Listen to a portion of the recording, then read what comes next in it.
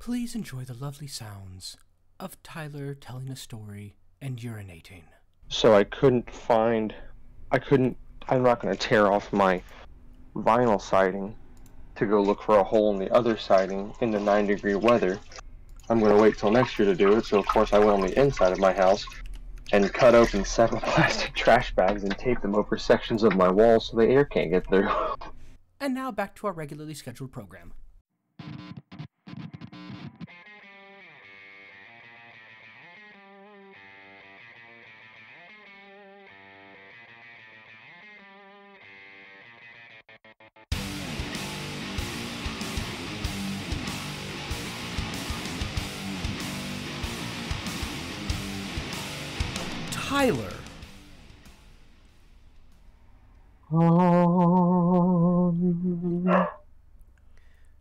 Recently discovered to be angelic Tyler, it would seem.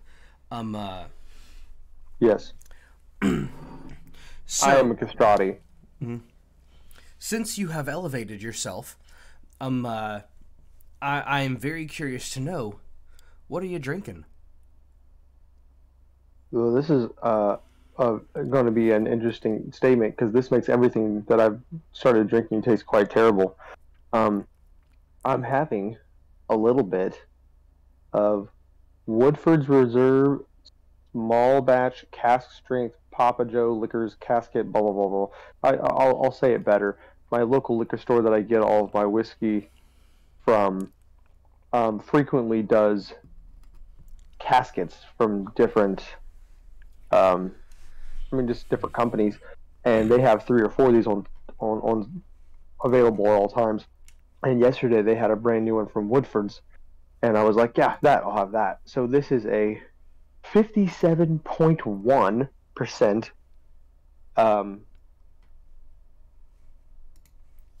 yeah, it's just their own special reserve casket. They made them keep it sit for a certain amount of time. Um, you can kind of tell that it's been it's it's aged a lot longer. I think the exact age they put on here is 15 year. Um, you know, you get that cask strength coloration, you know, where it looks a little bit lighter than it, it normally tends to. I don't know. It's just the most amazing thing in the entire world. I've had it before. It's my number one of all time. And yeah, it just tastes like that kind of slightly sweeter, um, high firepower bourbon. And the reason why it tastes like crap right now is because I'm very, very tired and I've been scrambling all morning and I had a giant chug of a monster without drinking any water, then went right into bourbon. And uh, if you were curious about what that tasted like, the answer is bad. Sounds like a fantastic time. Yeah, so essentially I just am ruining a glass of $120 bottle bourbon. Well, and it makes me feel bad. I am drinking something somewhat that would normally be equally as pleasant. Um, uh, but right now, based on your what you've said, um, uh, seems like what I'm drinking is more pleasant. Um, Yes. I am actually drinking Warrior Poet coffee. Ooh. I really, really want to try that. Um, I've been intrigued by just the company in general. Um, and so therefore I just would like to try. But I, I, I just haven't bought any. You have to order that offline, don't you? Say what? You have to order that offline, don't you? Yes, yes, you do. Yeah, I haven't I haven't done it yet and I, I should. Yeah. Well, see, I am. Uh, I did the math, and like I was looking at this, like this coffee is so expensive, and then I did the math, and I'm like, you know, I usually run by um uh, the gas station on the way to work and pick up a coffee from there, and I did the math, and even me thinking this coffee is so expensive, it's still cheaper than gas station coffee. Yeah, yeah. I mean, if you, that's what some people I think. Um, I don't think a lot of people take into consideration how much money you're always going to save by making your own cup of coffee, even if it's very, very expensive coffee. Yeah. Now I think if if I was you know getting say a cat poop coffee, I think I wouldn't be saving any money there, but Which, you know, I've always part of me doesn't know if I want to try that or not. Mm-hmm. Oh, I would have. I, I don't think I'd go to a like if I went to a coffee shop and they said, "Hey, we have cat poop coffee. You want some?" It's like, no, I'll take the the other. But uh, if someone said, "Hey, would you like me to? Would you like to try some cat poop coffee?" I said, "Yeah, sure, I'll try it." Yeah, yeah. Like I'm intrigued, Mm-hmm. but not enough to like pay money for it. Mm-hmm. Mm-hmm. Yep. That's kind of where I'm at. But yeah. So yeah, I want to try it. I want to try it. I'm intrigued. Not the cat poop, the warrior poet. I mean cat poop too, but less. Yeah. Yeah. Which is a great out of context quote for me for the day. I want to try it. Warrior poet, not the cat poop. Well, what you should do is come up here and we'll have some. that's a great idea. I'm gonna get in the car and I'll see you sometime around five o'clock. Um. Yeah. Yeah. About about then. That's about right. That was a dead guess, but I actually think that might be right. Yeah, well, let's see. Depends on depends on the kind of gas mileage you get. Um, uh, it's the way I drive. It's about nine hours of driving. Um, uh, I don't. I, I don't- Drive. I don't expect you drive much slower than me. Um, uh, with Ellie would be driving, so I'd get there in about an hour quicker than you would. Okay.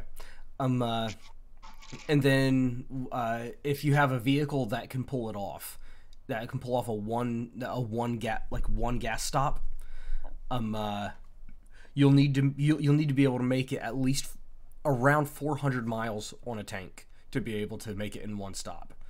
But um. Um, I'm right on the verge of that with my car. Um, so I'd be close. Yeah, and so, but if you make it in two stops, I'll, I always allow 15 minutes per stop. Um, uh, and so, uh, so take out 30 minutes out of that. So the trip usually takes, uh, it'll take us. We have to make more than I think we have to make two stops, sometimes three because of baby stuff. But um, uh, Yeah.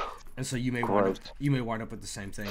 But so if you make three stops, that's say an hour of stops, you make it in 10 and a half hours, which 10 hours from now is five o'clock or a quarter after. Oh, yeah. So now that everyone knows exactly the way that we would get to your house, we, can, we might as well stop. All people know We is how well long stop it takes. Hey guys, Well, no, no, no. What I'm get, what I'm getting at is that that's just that's just enough talking. We can uh, we can call this. That's Oh. that was the whole reason why we had this today. yeah, yeah, we just want you guys to know that we live about 10 hours apart. There you go.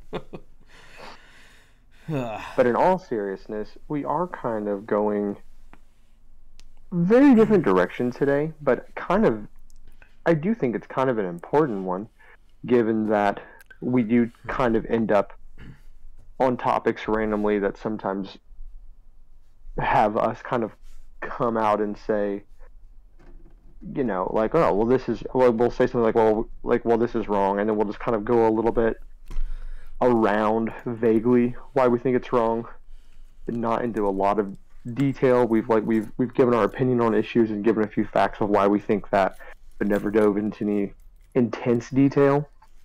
Mhm.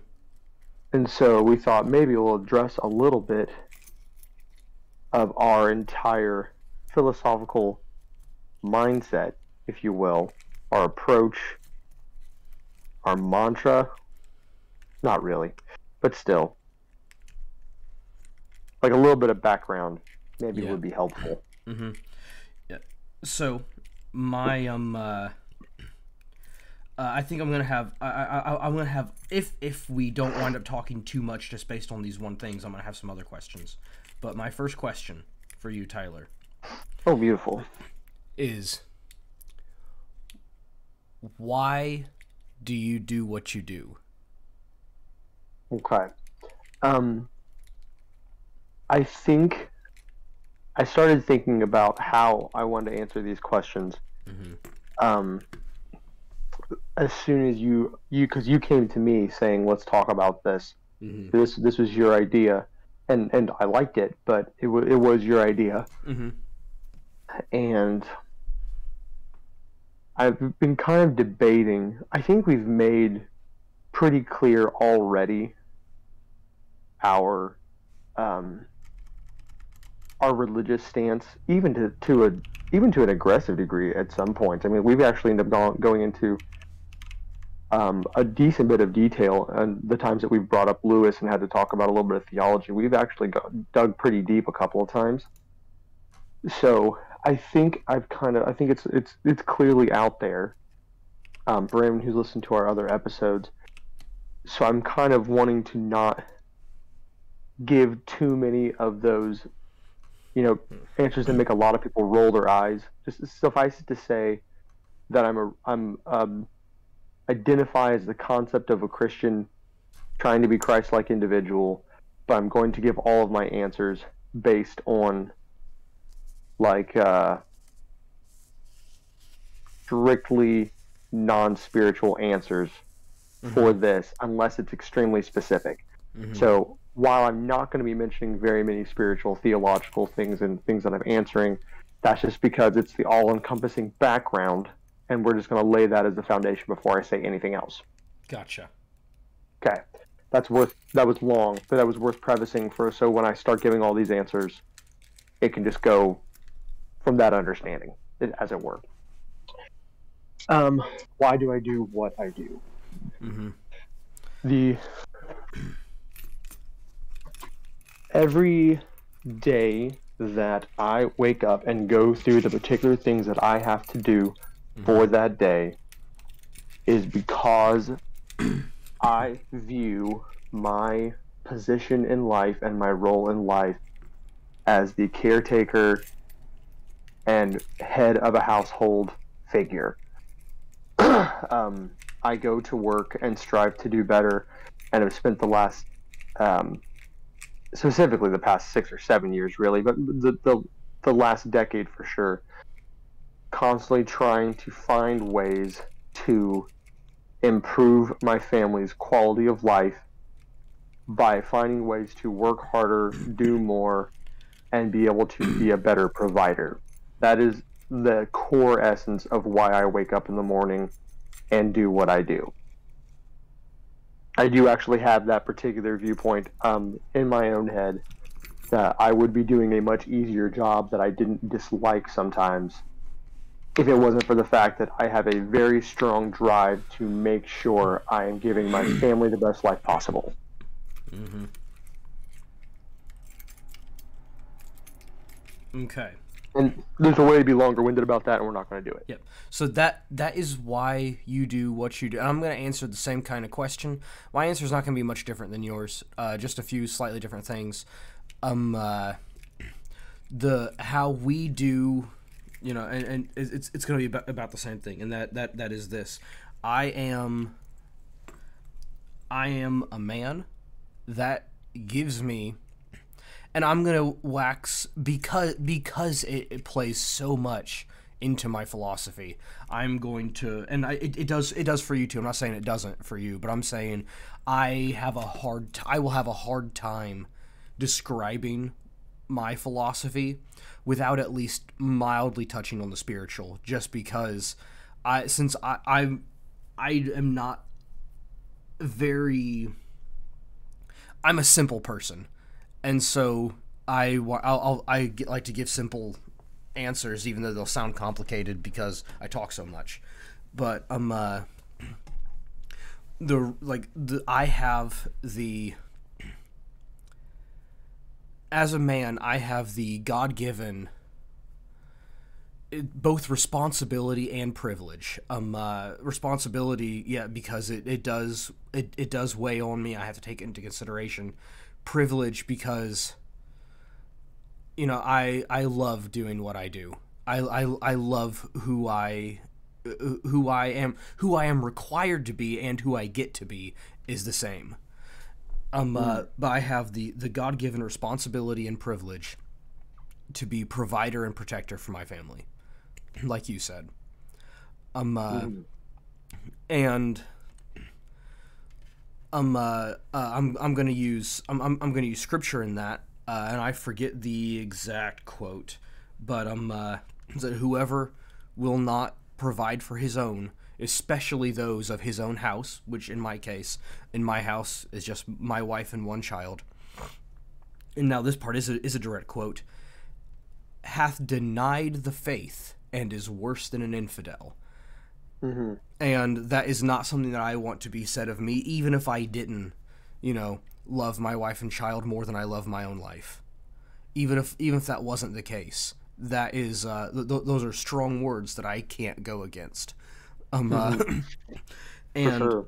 yeah, but then I also have to think about uh, there's there's a certain thing that that I do is a certain balance, and that is I believe that any man who like uh, and obviously like you know if you're at a job and they require you to work so much that's that's a little bit different. But like say you have you know like a voluntary overtime kind of deal. Any man or any any, father because you can be a man without being a father or a husband. Any father in my in my th- th- th- this this this this is my philosophy on labor. Um uh, any father who knowing that it takes 12 hours a day to provide for his family and chooses to work 8 hours or 10 hours knowing that 12 hours is what's necessary is a useless father because he's not willing to do what it takes to provide for his family. But also one thing that it is my responsibility as a father to provide for my son I not only am I supposed to provide for him his necessaries but I'm also supposed to provide him of myself and so if I knew that I could provide for my family on 8 hours a day and I choose to and I choose not I'm forced to but I choose to work more than 10 hours a day knowing that I can provide for him with 8 I am for all those extra hours depriving my son of myself. So it's my responsibility to provide for him of his needs and of myself. I have to give him a life and I have to give him a dad so I am it's not as bad to to give him less of myself knowing that his needs are taken care of. Uh, that it is to uh, not take care of his needs. Uh, because I also would I would also contend that if I know 12 hours are necessary to provide for my family and I choose not to work those 12 hours I'm probably also not providing of myself to my family um, uh, who knows what I'm doing with that extra time, but it's not, almost certainly not good fatherly things. um, uh, and so, um, uh, and so for for that for that reason, like for me, there has there has to be a, I, I guess you'd call it a work life balance, but for me, yeah, it's it's yeah. n- but I don't view it as a work life balance because with a work life balance, they're like, man, yeah, I see how you're working, but man, you got to have that work life balance. You got to live. I'm not thinking of it that way. I'm thinking of it as I have a responsibility to my son. And half of that responsibility is providing him with what he needs. Half of that responsibility is providing him with me. And so if I don't like if if I don't give him as much of both as I possibly can, then then that's and that that's And that's it, Mhm. Can't wait, don't if you're in the middle of a thought, finish the thought. But I, I had something to play off of there. But finish your definitely finish your thought. no the and that's that I said was and that's why I do what I do. Perfect. Yeah. So so this is this is um I'm gonna play off of what you said with with some of what I was what I was thinking. Mhm. So this is this is why it's so interesting uh, of it being a philosophical take because obviously we're saying very similar things, hmm but what's really and I think this is probably something that's not worth diving into. Um, But you and I have very different um, jobs, hmm and it's interesting to to to think or not to think but it's interesting to see uh, if someone were to look at us from the top down how different um, you know how different our approach to getting to the exact same answer would have to be given what we do for a living. Hmm um, uh, and I again I don't want to dive into that because oh my goodness what's the point of talking about what we do for a living hmm But like you said, that work-life balance. So there's, you also made the comment about saying something like voluntary overtime or or this thing or that thing or whatever. Mhm. Um, that is something that I find very interesting for people that I see that are kind of workaholics. Mhm. So um, I completely agree with what you said about saying if if this person knows they need this much Mhm. to survive, um, and they're doing less, and you have a bad opinion of them. It, for me, I also have a bad opinion of workaholics. I think I have the exact same opinion. Um, if anything, I actually think I hate workaholics more. hmm And also, let, Um, let me let, let me throw something in it- here too. Well, real quick, real quick, just to finish the Yeah, sentence, uh-huh. I think it's because they are using their drive for the less important thing, and I find that to be somehow worse because it's almost like they have a better quality and they're using it in the wrong way. hmm Yeah, That was it. yeah, that's that that's fair. Um, uh, but um, uh, uh, well, yeah, what, what I, I was gonna say was we, I, I, I- wanted to add that when I say, you know, if you know you can get by or you, you know you can provide for your family working eight hours and you choose to work more than 10 and that's a problem. I'm going to change that to if you choose to consistently work more than 10 if you're like hey you know what? It's october. I think for the month of october i'm going to just put in i'm going to put in 14 hours a day for the month of october and then i'm going to give my kid the best christmas he's ever had that's not mm-hmm. consistently. That's for this one time thing. Or you're like, you know what? Next year, you know, my kid is like, you know, I've I've you know I've been watching my kid grow up. He's five or six years old. Next year, I'm just gonna absolutely kill it at work. And then if I do this, like if I put in if I put in 12 hours a day every single day that I work at work, then I can put back this much, and I'll be able to pay off the house and it'll let me retire and then look at all this time I'll have with my kid, you know, and and, and th- that that sort of stuff. I am uh, uh, for for for those reasons. Now, if you're you know, like, hey, this will let me retire ten years early. Well, you know, your kid's already forty. What that what good is that gonna do? You know, how how who, how does that help anybody? But um, uh, but like you know, if, if you can set it up so that you're like, you know what, I'm gonna do this. I'm gonna retire by the time my kid is eight years old and then I can spend his the whole rest of his childhood and do that and that. I kind of see that. Now, if you're like, if you're trying to retire by the time he's eight years old, so you put in all the extra time from one to eight, then you're still wrong. But you know, you, you know what I'm saying? Like, if you have you know short term on the on the short term, then I, I I think it's okay because that's still part of that. That you know you're, you're not making the intention or you're not trying to you know deprive your for most of the time the people do that they're doing it to give themselves to better give themselves to their their child at, at other times. So i'm i'm i'm fine with either way in that case. Mm-hmm. I think that was an important clarification, but I do think we could move on to another question because I feel like you and I, there's nothing wrong with this, but I feel mm-hmm. like you and I could probably just dive deeper and deeper and deeper into this one thing, and I don't know how, mm-hmm. I don't know how productive this is to the conversation because you have the questions. yes i well I don't, I just, I just don't know how productive it's going to be. Uh, so uh, I started today with only one question, and that was why do you do what you do? And then uh, another question popped into my mind while I was asking that one. So this is actually the second question I thought of since we've been recording. Beautiful. Um, and it's something that I I can't say I've put lots and lots of thought into, but I've thought about before.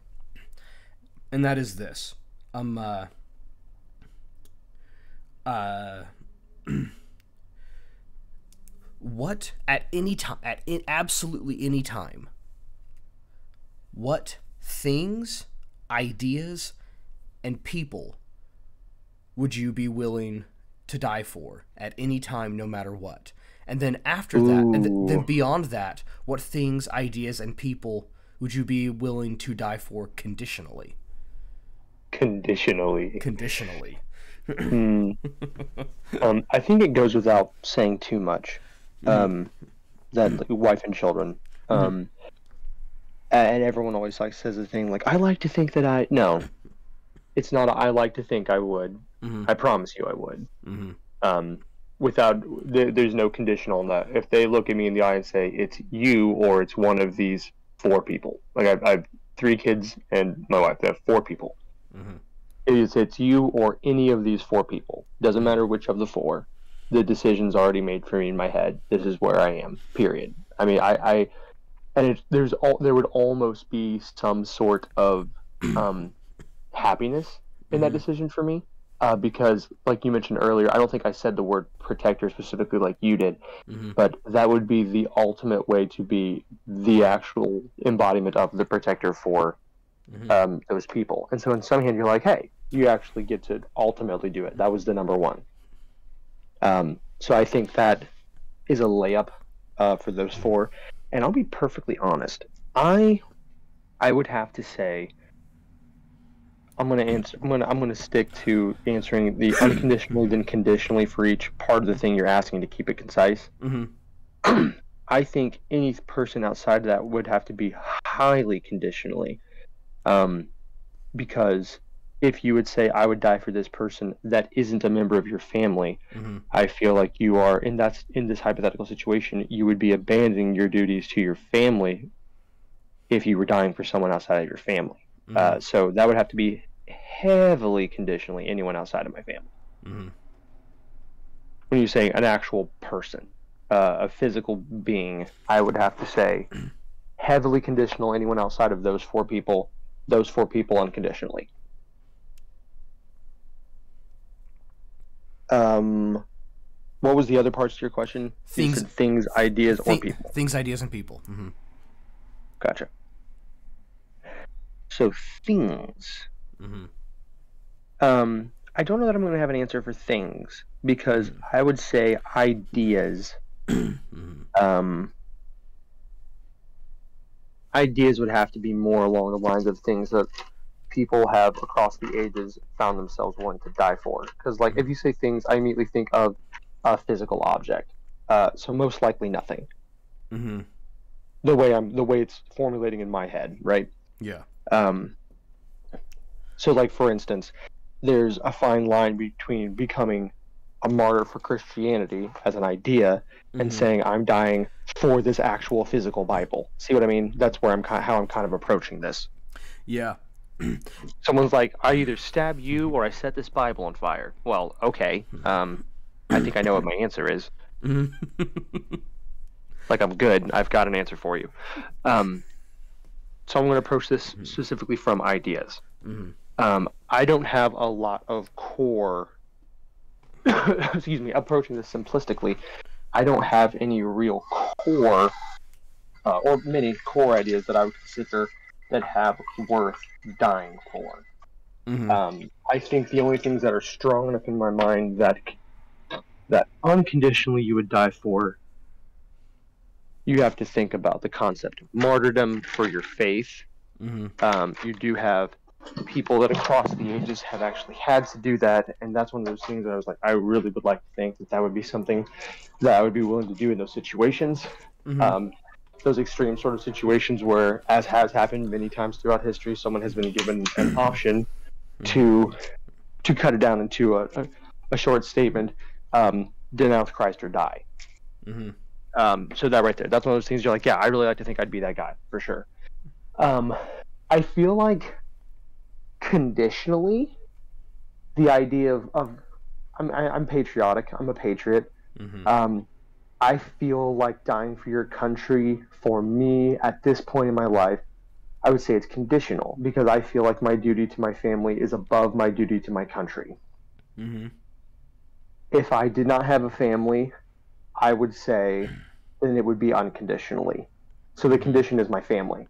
So in some terrible scenario in which I'm left without a family and then some war broke out, I feel like that would then be unconditional and I would immediately make that decision, if that makes sense.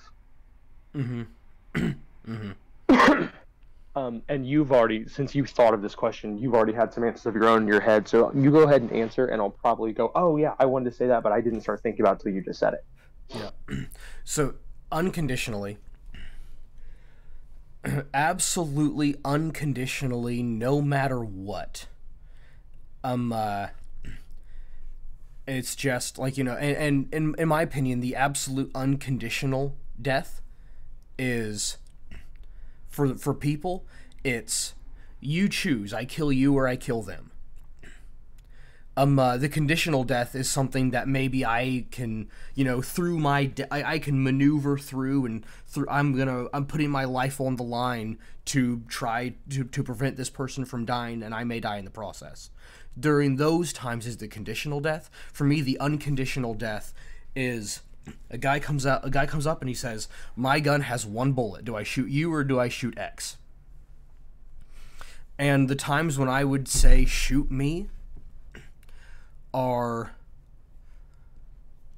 really what was that I had to blow my nose. Oh, Sorry. son uh, the times when i would say shoot me over x person honestly just my wife and kid yeah. absolutely on there like you know if because if, someone came and they had you uh, they, they had you there they said hey i will like shoot shoot um uh, uh I, I will either shoot you or i'll shoot your brother now i You'd will like, give me the gun. yeah. Now the thing is, a, a year ago, and and th- this this is this is something something interesting here because this is where the spiritual aspect of of the of the philosophy comes in at. A year ago, I would have picked me to be shot. mm, I see where you're going with this. Uh huh. Okay, I see where you're going with this. uh huh. I don't.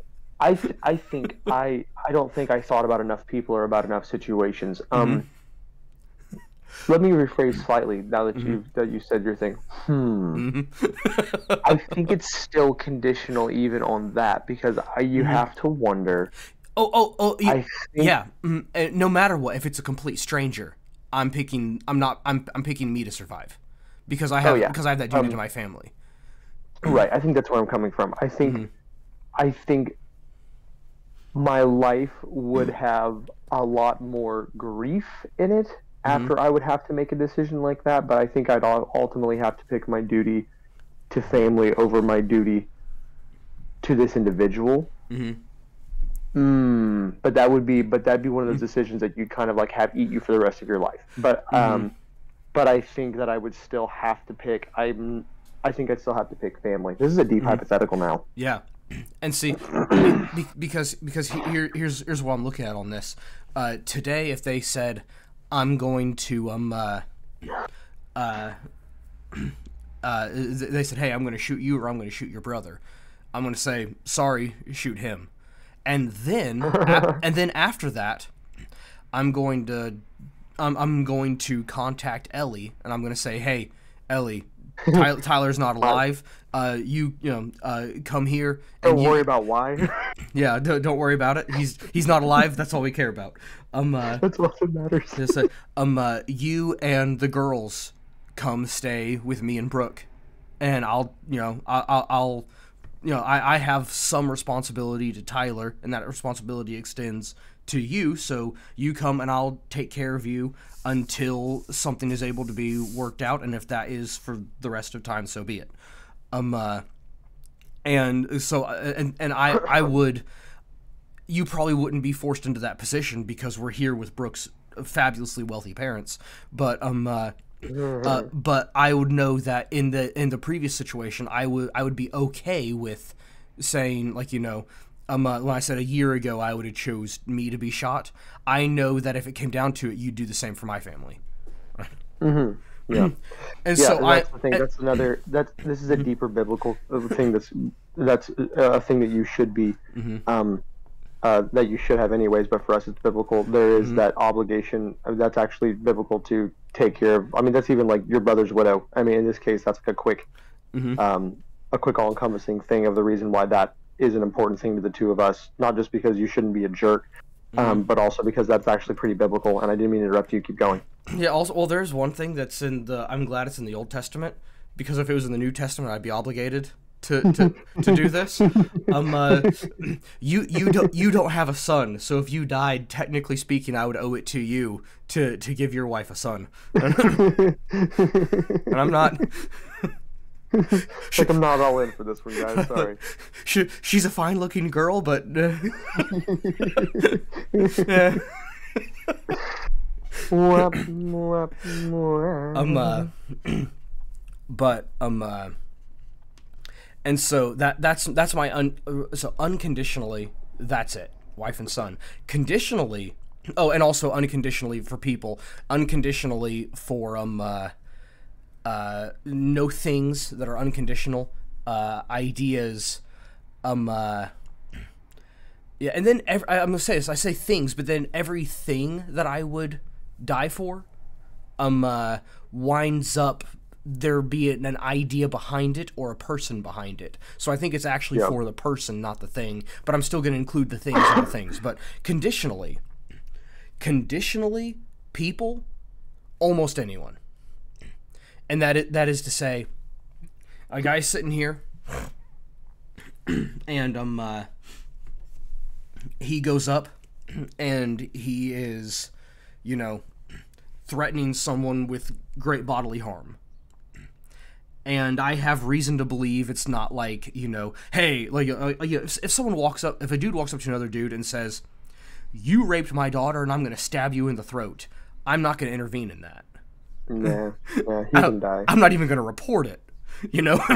but, Like I don't know, man. He looks like he tripped on something. That's rough. yeah, um, uh, must have been a mugging, you know? Like, Are there any someone should fig- seen that. Are there like well did, did you see anything? No, and there aren't any fingerprints and I definitely didn't help the guy wipe them off. Um but Ah, did you do it? but um uh, but then like you know so, someone walks up to another person and says, "Hey, give me your money. I have a knife." Or you know what whatever it may be. You know, I'm like you know a, a bad guy threatening uh, an innocent person. Chances are, unless I have my family with me and they could find themselves in harm's way. Other than that time, like yeah, I'm gonna put myself in harm's way to help that person to prevent that from happening and knowing that this person is threatening deadly force as soon as I intervene there's always the possibility of that force being used against me. Therefore in the that in that conditional context I'm not expecting to die but I'm prepared to. And mm-hmm. I would and I wouldn't put myself in that position if I wasn't willing to. So in those contexts I'd be willing to die for a complete stranger.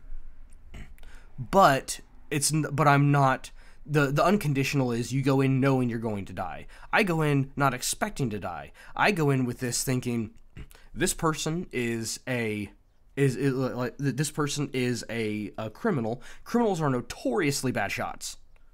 I'm pretty yeah, good. You watch Star Wars? You know, yeah. you know, and, and, and, and I'm pretty good, so I have this advantage, you know.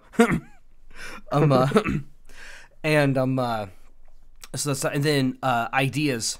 Oh, oh, oh, I forgot to say this. Oh, um, uh, con- uh, unconditional ideas. I'm gonna die die for my faith. Uh, I I will die for God absolutely unconditionally. I'm not gonna go looking for a reason, you know. And if there are people saying, "Hey, these people are going around rounding up Christians and killing them," I'm gonna leave. you know, I'm uh, I'm not just gonna say, "Well, I'm staying right here and wait for them to come kill me." You know, I'm not retarded. Um, uh, go. Yeah. But w- but when when the time comes, and I'm I'm not gonna say I like to think I would do this. I'm not no. I'm I'm when the time comes is you know in in the in the classic, um uh you know uh you know flyleaf Cassie, um uh, uh setup. Um, uh, in in that, no, I know for an absolute fact what my answer would be because I know I'm willing to die for my God. Um, uh, the and then uh, conditional ideas. Uh, I'm putting I'm, I'm putting die for my country. I'm uh, again on the conditional. Um, uh, I would- I have I would have a man I would have a hard time dying for this. I wouldn't I don't think I would join the military right now. I I know I would even if I was young enough to. You have to be uh, 27, I think. Um, uh, I'm too old. Uh, I'm not 27 anymore. So old. Um, uh, yeah, but um, uh, I even even if I was was of age, I would not join this country right now because I'm not that willing to die for my country at this point. Um, uh, I am willing to die protect. And here's the conditional part: I'm willing to die protecting this country from itself.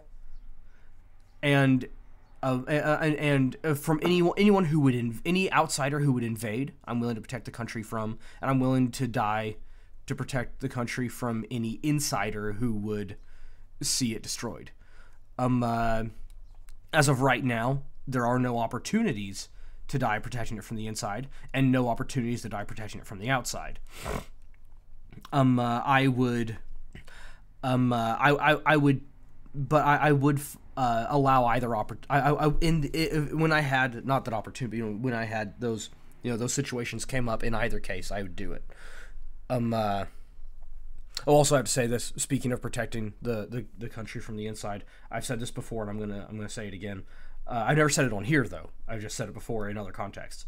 Um, uh, and that is, I am. Uh, I know that, uh, like you know, there, there are some people who say, uh, civilians, the armed civilian does not stand a chance against the government, so there's no reason to try. I've heard people say that, and I've heard the government say that. um, uh, and here is proof that that is not true. they say you think you know with the the the, the small arms you have access to, you could. Um, uh, you know, well, not you know you individually, but you know the civilian could stand a chance against the the government coming in. Well, here is proof positive that that can happen, and that is this the government is afraid of the armed civilian. If the armed civilian stood no chance, the government would have no reason to be afraid of the armed civilian. And the reason why we know the government is afraid of the arm, is afraid of the armed civilian is because they keep trying to convince us that they're not afraid of the armed civilian, while at the same time trying so hard to disarm the civilians. but anyways, that's that's that's beside the point. Um, uh, no, that, that was We're turning it. Are we turning into a QAnon podcast right now? yeah, absolutely. But uh, but I mean, uh, you know what I'm saying though on that, like you know that that Yeah, yeah, yeah. that, if, if if it was if they weren't afraid of you having it, they wouldn't try to take it from you. Well, for the record, I mean, at the at the risk of now being the one uh, making the QAnon statement, we are, you know, Mhm. not that far from a 300 year anniversary of doing that. mm-hmm. Yeah. Um. Uh, yeah. For the record, yeah. Only about 54 years off. Um. Uh, 54 years. but they um. Uh, yeah, and then for things conditionally, like you know, you said, would you die for this particular Bible? Um. Uh, well, and then as soon I had never given that thought, and then as soon as you said that, I came up with the context in which I would. Check this out. There's a man through here. You live in an area, you know, no other people. Like you, know, you have your little community, and there's no other people for miles and miles and miles and miles and miles. Um. Uh, and like you know it's, it's whatever or say like you know what like a huge swath of area then your community is in there and your community has one bible that the entire community must share then someone comes in and says hey i'm going to burn this bible and this is still going like and th- this is going back to going for the idea of it i am going to um uh, uh i am am going to you know put myself in to stop that man from burning that bible.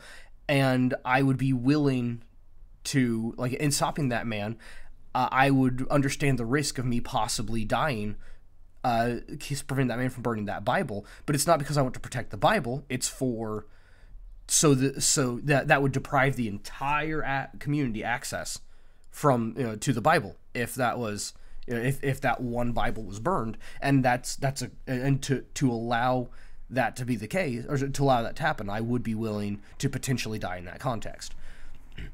Um uh and then uh, another other conditional things i would die in protection of this building that is my home but it's more the family that's inside it uh, if it came down to an apocalyptic uh, situation, I would die in protection of food that I had. But that's because my family needs that food. So, um, uh, so those like, are all technically technically conditional. I mean, like, yeah, all 'cause you're talking about someone yeah. coming to take all your stuff. yeah, if you came in right now and said, "Hey, give uh, you have those," you, you you put a gun to my face right now, and said, "Hey, you have I see you have those nice bags of fish in the freezer. How about you just give them to me?" I was like, "Okay, take them. Here, take take the fish and leave. Get that gun out of my face." Like, like, good lord, man. Yeah. Like, you want the fish that badly. you know, you you could have just asked. I'd have given you some fish. This is expired, my man. Uh, but yeah. I Um, think uh, we're. I think this is officially a deep dive too. Okay, so we talked about that for about 15 minutes. We have about 15 minutes left. I think we can talk about this for a little bit less time because there will be some overlap in this in the last list. But here you go both conditionally and unconditionally. Things, ideas, and people, not that you would die for, but you would kill for. Ooh. Mm-hmm. I think this is easier. Mm-hmm. um, the list of people I would kill for would have to be situational because uh, most of them. Yeah. hmm I mean, most of them. Mm-hmm. Most likely a large swath of the population. Um, yeah. Um, situationally, everybody. Um, unconditionally, quite a lot. hmm um, I think it stands to okay. So like, if if it because this this is an odd question because if you dial it down to the way we've been talking about these other ones of saying something like, either you shoot me or I'm going to shoot this other person. The list of people that I would be fine with this person killing is not that long. hmm Um, so, yeah, I mean, most of them. Yeah. yeah. That, So I mean, Yeah, that, that that's was a less very simple answer. Yeah, uh huh. Yeah. So for me, so for me though, like you know, let- let's let's go into a, a, a deeper, a little, a little bit of a deeper context. Obviously, if it's like you know, the X person is threatening X person's life, um, uh, you know, for for whom would you, for whom would you kill? And that that is yeah, the vast majority of people. But then you know, going into a, a, a little bit different. Like this person is, um, uh, you know, trying to force a person to go somewhere against their will. Who would you kill for in that case? hold on, say that again because I think I caught it, but I want to make sure. Someone is trying to force another person to go somewhere against their will. Who would you kill for in that case? Uh, it depends on the place. Mm-hmm. Uh, if it's like to go take a shower, um, I mean, probably wouldn't kill anybody. Mhm. Um, Rem- remove like, m- remove them to a secondary location. if the secondary location is the concept of kidnapping, then man, still quite a lot of people. Mhm. Um, yeah, this is still pretty conditional. I mean, like if if some random guy grabbed my kid and go, "I'm taking you to Walmart," I'm gonna kill him. It's just Walmart, but I mean, I don't want them taking them there. Screw you! I'm going to Walmart. like, we're still going to Walmart, but it's the principle. Mm. Um, hmm. I don't know. I feel like that question's too tricky. I If it's a situation where you, where you feel like you have to protect another individual because this is things are about to go bad for them, I I would like to think that the vast majority of the population, I would want to be protecting them in that scenario because you're like, hey, that's not cool. We have to not let people not be cool. That's part of our job as people, is to not be bad people. Yeah. Um, so most of them, hmm but I mean, again, it just depends. If it's like someone's like, I'm about to kidnap this this kid, and I'm going to do it right in front of you. I, Mhm. if it's like, and I I would only stop if you killed me. I, I, I, yeah, I mean, I feel like that's a. Not only is it justifiable, but I mean, it's probably the right thing to do. hmm Yeah. See that that's that that's, that's the um uh, uh that, that- that's the thing. Like there there was a uh, a video that I saw. Um, uh, there were two men in this video. And I don't know which was more despicable. Which of the two men was more despicable? There was the uh, the first man who was pumping gas at his truck, and the second man who was inside the gas station. Uh, the man who's inside the gas station had a woman in his car. While the man was in there, the woman decided now was the time to make her escape. The man was taking her somewhere against her will. And she decided now was the time for her to escape. So she got out of the car and ran over to the man who was pumping gas and started begging him for help. Um, uh, and I um, uh, uh, yeah, started begging him for help. And then the man who was in the store saw that, ran out of the store, got her, dragged her out from underneath the man's truck, and carried her kicking and screaming back to his car. And the man who was pumping gas literally just stood there pumping gas and didn't move the entire time. And I don't believe I don't know I don't know which man is more despicable. That's some pretty beta energy. Yeah, but I am uh, like here's here's the thing, like in that context, a girl comes up to me, starts begging me for help, and then the guy comes up and starts trying to take the girl. My immediate response is not just immediately draw and shoot. it's you know I, I the my my response. So I wouldn't just immediately, you know, kill that guy for trying to take that girl somewhere against her will. But I would like you know use myself as a physical barrier in between the two. Is like, hey, you know, what what what the crap is going on here? You know, both parties explain yourself. You know. Yeah, this is this is back to the the, the situational as the place. You're talking about protecting someone. Uh-huh. Sure. If you're talking about, um, like you see a parent dragging their kid and their kid is kicking and screaming. yeah. Uh-huh. I mean, like I I have children. I can just assume that the parent is probably taking them somewhere that they have to go. And the kid is just being a kid. My Yeah. first thought isn't that the kid's being kidnapped, and the kid's like, "Mom, I don't want to go." And the mom's like, "Shut up." I'm probably not even going to look at them for very long. Hmm. Yeah, but then again, I, I I- I would be curious about the person dragging the kid, kicking and screaming, and the kid saying, "Let me go, you're not my mom." Well, that's different. Yeah, That's why I specifically said mom, you know, because like yeah, if it's like I don't know who uh who this woman is, she's trying to take me away. Like oh Yeah. well, maybe we should call somebody. Let's do a thing here. Like oh wait a minute, yeah, and and, this and is not right. yeah, and then and then when you accost the people, say, "Hey, why is this kid saying you're not his his mother?" And um, uh, it, it, it just depends on the answer that I get from the from from the person on whether I step in. If I said, "Why is this kid saying you're not his mother?" It's like, he's retarded. Like, okay, you're the mom, but if, if the kid said, "That's none of your business," I'm gonna say, "Hey, I believe it's, it's gonna be a. I think you're, you know, there's a problem here. Uh, you sit down until you know you're you're you're you're not going in any place until we get this sorted, you know." but I think we're just turning into an episode of What Would You Do? yeah, yeah, I get that's, that's how it happens. But the um, well, that's kind of what this is though. But um, uh, uh, but yeah, but then someone trying to take people though, even with my wife and child, the answer is different. Because here's why.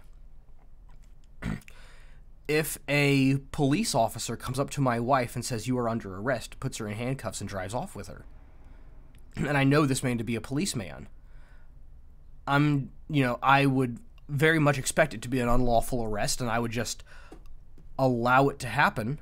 And then a lot of states allow you to file suit for unlawful arrest, and then we, and then I'd get it sorted that way. But yeah, um, uh, and that, that that's gonna happen. But then, and that that's how how it's gonna be. And so there are contexts in which you know I would allow someone to take my wife from me. But then again, we're talking about my kid. I don't care if you're a random stranger, if you are a physician, if you're a social worker, if you're a policeman, or even a family member. If you try to take my kid from me, I guarantee I'll smoke you. Absolutely. Oh yeah, It's going to Yeah. happen. yeah, yeah.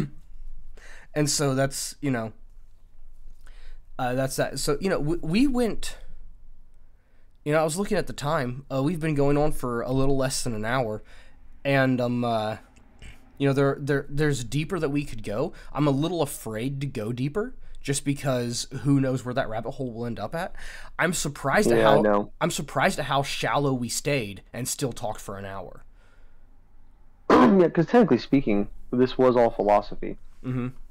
and this was the philosophical talk episode. So not bad. yeah that's some. uh uh man w- if we're gonna go into any sort of deep dive we would have to have like episode specific hey look we're gonna look into the philosophy of this today and that would be that would, that would turn into three episodes if we ever did that Yeah.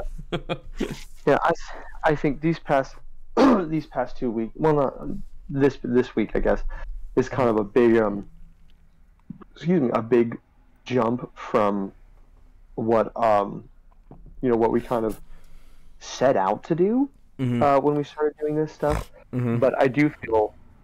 Um, so you actually, so the, interestingly enough, um, Mm-hmm. normally we have our topics pretty far in advance. Um, this week, Sean actually messaged me last night and didn't tell me what he wanted to talk about, and actually didn't tell me what he wanted to talk about until this morning. And I was like, ah, well, that's actually a really good idea Mhm. because we do end up kind of, um, um, we do end up kind of interjecting our ideas, which is the you know the core of our philosophy or all of our ideals that we hold on to, and we kind of brush over them and just kind of give an answer. And I feel like it is kind of important to have a little bit of a mindset. Some of it. Um, maybe some of these questions aren't going to help anyone think anything, but they're still worth talking about, and they're still worth like establishing yourself as a person. I mean, if you're going to sit here and listen to a person talk, I do think it's kind of important to know if you fundamentally agree or disagree with them. Yeah. Okay, and so now I am. Uh, uh, now I'm I'm I'm going to end my section of it with the absolute bare bones of my worldview philosophy. Okay. And that goes like this. My social, like interpersonal interactions, how I deal with other people. Um, uh, so that is how I carry myself in the world. Um, uh, uh, ba- my actions, I guess. Um, uh, I take so yeah, how how I do everything. I take three things into consideration. The primary thing that I first consider is what I am about to do. How does this line up with my understandings of what the of, of, of what I understand the Bible requires of me and what my God requires of me uh, as, as a Christian and also what my God requires of me as an individual things that I I believe that are tacked onto. Uh, not not uh, obviously I can't believe anything less than what's in there but uh, many uh, most individuals will have something in a something extra that's that's in addition that you say I also feel that I must do this.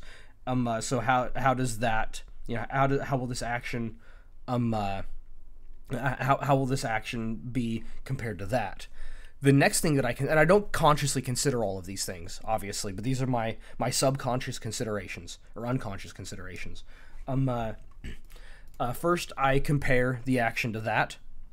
Then i compare the action to how will this um uh you know then also I consider is how will this action affect my family? Um uh, will this be detrimental to my my role as protector and provider? Will this uh, act uh, antithetical to that in any way. Is antithetical the right word there? Will this act against that in any way? Will this will, will, will this prevent me from being a good um, provider and protector? And then the last thing that i consider is if it's something where i believe my pride uh, may may be offended in some way, uh, and that this is the least important one. But um, uh, this is more for things that I do myself. It's more how I look versus how I'm going to act. Because I'll go out and do stupid stuff that would that should offend my pride, but I don't care um uh, about that. So it's more like you know. Well, I guess if I'm being serious, I'll do anything in goofiness. But if I'm being ser- serious about stuff, um, uh, my my pride and how I. So basically, what does God think of me? What does so, so what what what does what does God? How does this affect God's opinion? How does this affect my my family's opinion? And then lastly, how does this affect my opinion? And that is um uh, uh and the, th- those are the three things that I unconsciously weigh uh, each decision that I make off of in that order. That's that that that's my that's my entire worldview and philosophy wrapped up into three statements: my God Um, first, then my family, then myself. Um, I feel like that's a, a good um, wrap up to kind of what we're both saying. But I do kind of want to address something, and I think people, just because of the way the world currently works and the way that people currently view everything all the time, skewed, in my opinion.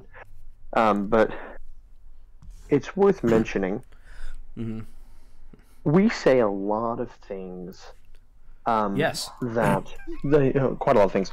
We say a lot of things that many people here um, take at a quick face value and make judgments of an entire personality and our entire makeup, and probably even some of our philosophy based on individual words that we say or jokes that we make. Um, and that wraps up a lot. And so it's, I think there's something that's worth saying. Excuse me. jokes are just that.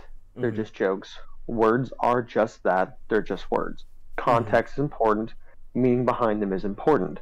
And they don't have, and like just saying a word out loud just for the sake of saying a word or making a joke does not, has never, and will never sum up an individual because the person has said a word or made a joke. It depends on where they came from in their mind when they made it or said it and their intent behind the word or their intent behind the joke. This is mm-hmm. important.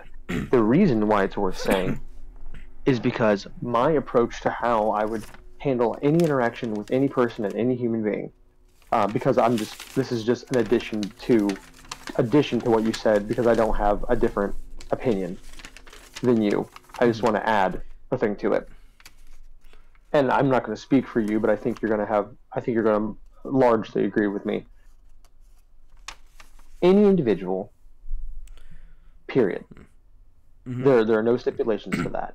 Any individual that I come across the first and foremost duty before anything has been said and before any intentions have been put forward or any barriers have been put up is to love that individual. Mhm. And by love them, I don't mean grab them and kiss them, obviously. Depends I on the individual.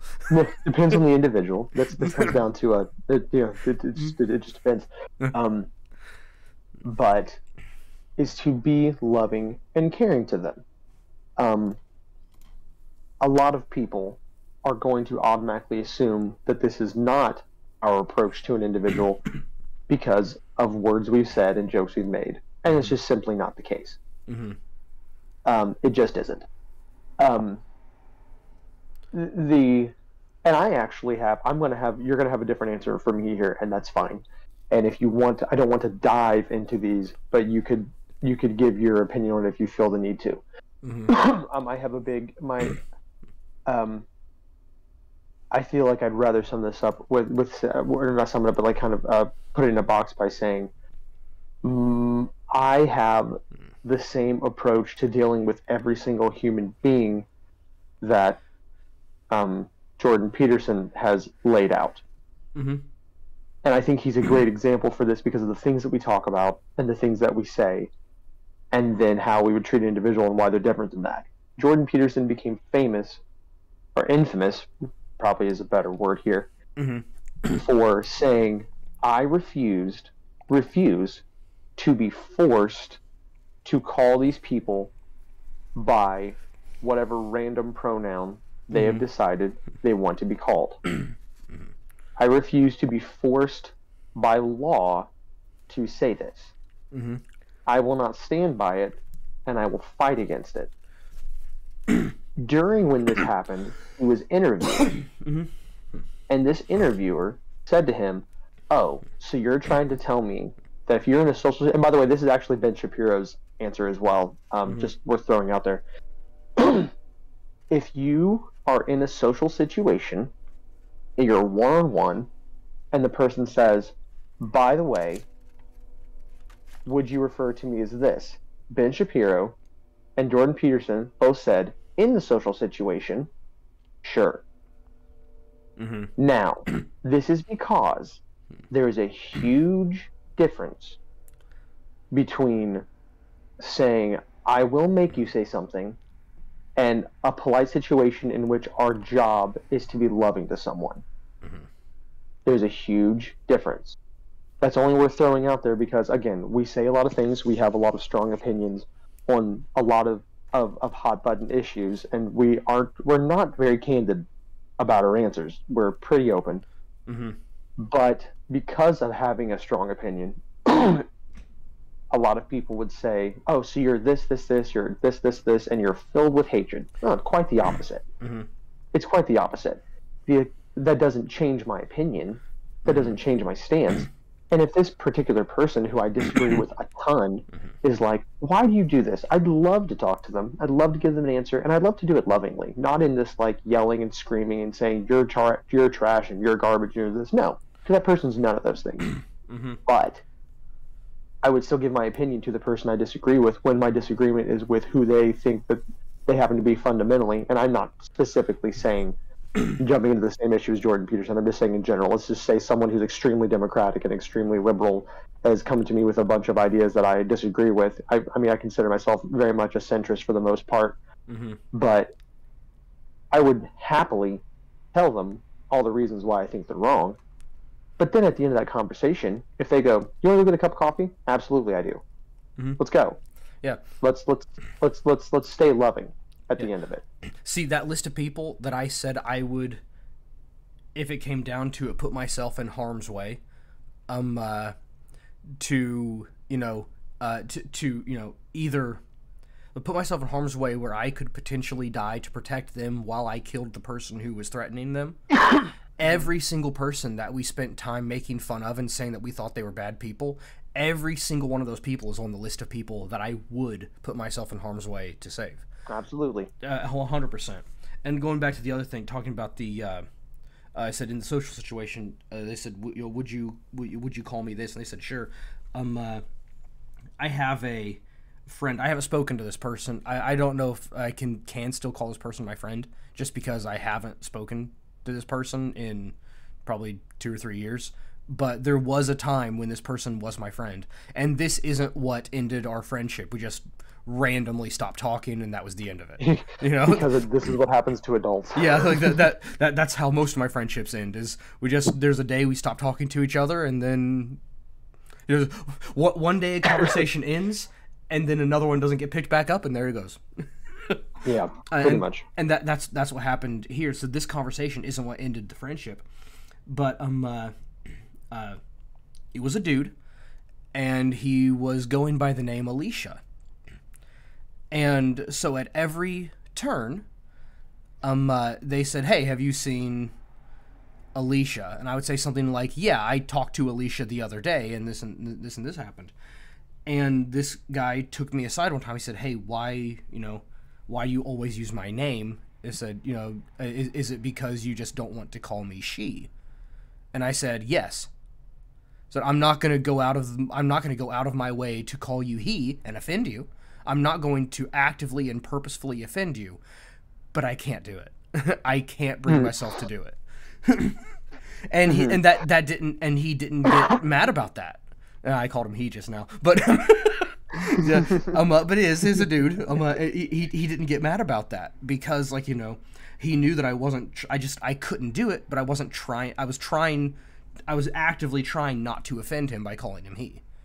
And Right, like, right, and, and, the, and he that's understood the, that. That's the important thing. Yeah. Mm-hmm. yeah, that's the important thing. He, um, that, that, that's the important thing. Um, so there's there's someone I would like to call this person my friend. Mm-hmm. Um, I like to think where it's more of a work acquaintance, someone that um, I that I work at a place where I sell things, and this person buys things from me. ah, Um, and this is in a very uh, aggressively right-leaning conservative part of the world to the point where like I roll my eyes a lot. It's a bit much for me even, and I'm uh, especially in today's world. I come I, I definitely side more conservative uh, just because of how things have been painted so black and white. And if you want to stand on one or the other, I find myself having to lean away from my center.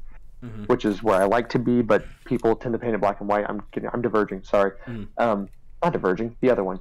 Um, but in this particular area of the world, with progressive conservative, I even find myself being like, okay, okay. Um, but there's this person, um, born female, mm-hmm. has gone undergone, um, what's it called? What's she it called has a when you? penis. she has a penis. Does not have a penis, but G- it had the gender reassignment yeah, where you take, you know, where they take the titties off. Yeah, gen- that would be gen- gender reassignment surgery. It's not. It's not gender reassignment surgery because it doesn't have any male anatomy other than we've cut off the boobs. That's pretty much all that's happened. Yeah, I'm well, just trying yeah, to remember the name of that So surgery. yeah, so that technical surgery is a mastectomy, but it's when But you're it's when you're doing when you're doing it for that reason, it's still considered gender reassignment. Okay, I'm not going to say the person's name. Not that I think anyone's going to find this person, but Mm-hmm. um, had a mastectomy, did not have any gender reassignment surgery. Um, had, takes testosterone, is married to a woman. Hey, wouldn't that ma- wouldn't that make her straight white male now? Yeah, that's that's that's, that's the thing. She's now the she is now the most oppressed group in the world. um, but we whenever uh, she yeah there it was. See what I mean? Yeah. Um, Everyone refers to this individual as she. Everyone around her does. Um, it's a very conservative part of the world. They refuse to do anything else, but they do it out of I won't do it, and I'm ah, blah, blah, and the loud, borderline hateful all the time. I can't hang with that. I don't like it. I think that's wrong. Just to be to be mean, just to be to be mean to be mean is one thing. That's too far. Um, and so one day I'm sitting with this person, and I was like, I gotta ask you, what is your opinion? Does this do, do you get offended by this and this? I get offended by people being purposely hateful. Um,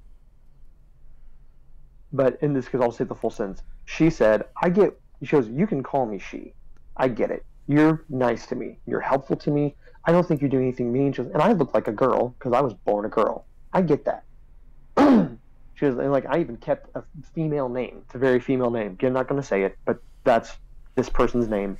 Goes by it. She's like, I don't really care what you say because of what you do. And that is the important thing. That's what it comes down to for me. Mm-hmm. like the word is so much less important because of the action. And that's where it really comes down to. You love the person no matter what. You don't do anything else because you're you're being loving. and they're going to understand. If I mean not everyone's going to understand. Mm-hmm. But I mean, in a meaningful, somewhat relationship, they're going to understand that you clearly show that you would do the right thing, and that's the important thing. Again, back to the that's the, back to the Jordan Peterson comment. I have certain ideals and concepts that maybe I wouldn't falter for just because this person says this is the thing that I want now. Uh, go screw yourself. But you wouldn't. Again, you're not. You like what you said earlier. I'm not going out of my way to purposefully be rude. I'm not going to go out of my way to purposefully be mean. And there are situations where there's things that I just can't do. Cool. The important thing is that in your situation you're talking about with that person, the situation I'm talking about with this person, mm-hmm. at the end of the day, that person understood that your actions were the right actions, doing the right thing by this person, and that anything else just stems from a concept or an idea th- that this person is separate from. Mm-hmm. Because everything should be individual. Take that, communist. Yeah. So s- speaking of not being like purposefully offensive uh, and doing all this stuff, um, uh, so as as absolutely hilarious as it was, it, um, uh, he confirmed later when Ben Shapiro called uh, Zoe Tur sir. Yes. Um, uh, he confirmed later that was a complete accident. He said, "I'm just used to calling people sir and ma'am." There was a dude sitting next to me. I said sir. Said it slipped out. I was didn't even mean to say it. it was a, it was a mentioned, pure if we're going to talk about the situation, uh-huh. who reacted more aggressively, Ben Yeah. Shapiro or that person? Good lord. Yeah, yeah. What's that? You accidentally called me, sir? I'm going to threaten you with violence. Although, although the reaction to everything on there was just so funny because it was like, like, oh, and what are your genetics, sir? It's like, you say something like that one more time, you're going home in an ambulance. Just Ben Shapiro. Wow, that seems wildly inappropriate for a political discussion. which is the perfect answer. Oh, it was great. Oh. well, that's a topic I don't want to dive deeper into because there's no point, in my opinion. Because Yeah. the all-encompassing answer for me is always going to be, "Hey, mm-hmm. this is the person. We are, even if we didn't just feel that we should because of our, you know, your, the, the you know, this is how we feel like we should be. Mm-hmm. I mean, that's it, it's worth mentioning. It's biblical to love people. Mm-hmm. Um, it just is. And I, I don't love people out of obligation. Your makeup as an individual after trying to become Christ-like leads you to mm-hmm. inherently being loving. You inherently love people. You inherently want the best for people.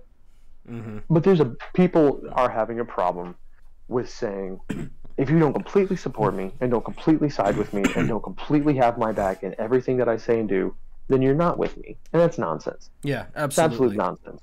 It's Yeah. beyond nonsense. And the fact that this is the way that the world thinks it is right now does make you want to vomit sometimes. Yeah, well, we have a sister who has um uh, who said she listens to this. Um, uh, and we'll see if she uh, says something about if she does listen to this. We'll see because she'll say something about this to me uh, for having said this. But she used to be of an opinion, and I she may or may not still be of that opinion. Um, uh, she would get really, really mad because uh, she there were certain things that she liked, and I thought they were stupid. and she said, "Hey, look at this thing that I like," and I said, "Hey, that thing's stupid," and she'd get so mad, said, "Why are you calling me stupid?" I said, "I'm not calling you stupid. You're, you you can like stupid things without being stupid. Insulting the things you like is not insulting you." And she's made the statement, "Yes, it is. To call the things I like stupid means you're calling me stupid for liking them." No. you're you're a person who likes stupid things, not a stupid person who likes things. Our mother's kind of that way too, though. Yeah. Yeah, they, they take offense to that sort of thing, and I, I get it. But we're thinking of the same sister here. Yeah. Um, so without saying, um, without saying the sister's name, just because I'm not doing, I'm trying to do names on this. mm-hmm. Uh, if you are listening, sister, you're still the worst lesbian ever. he, even, even worse than Kim Jong Sul. Like yeah, the word. I, i'm glad how, he's how dead. much more you can. Yeah, true. I don't know how much more you can fail as a lesbian by getting married and trying to be a mother. Ugh. Worst lesbian of all time. Married to a guy. Dang it. Yeah. Anyways, Anyways, okay, hey, we made it. We we made it to the end. yeah, we better call it the end. Yeah, that's absolutely the end.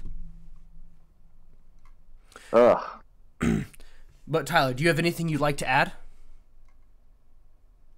Oh wow. Hold on. Whoa, that felt like a setup. Hold on. I wasn't ready for a setup. No. Okay, uh, that's that, that's good. All right, bye guys. Bye.